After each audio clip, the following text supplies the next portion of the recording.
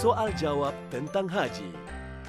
Ibadah haji perlu dilakukan mengikut aturan dan syarat yang telah ditetapkan oleh Allah Subhanahu Wa Taala. Sepanjang menjalani ibadah haji, mungkin terdapat permasalahan atau kemusykilan oleh para jemaah.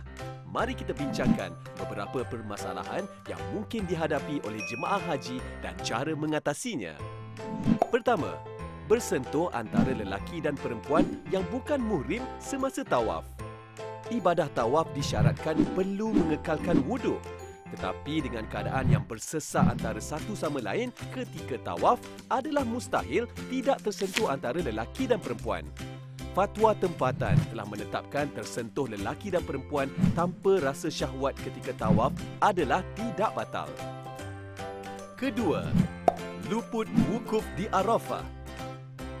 Jika jemaah haji tidak dapat sampai ke Arafah untuk wukuf pada waktunya, mulai masuk waktu Zuhur 9 Zulhijjah hingga terbit fajar pada 10 Zulhijjah disebabkan terkandas atau keuzuran, maka luputlah ibadah hajinya. Ini kerana wukuf ialah rukun haji.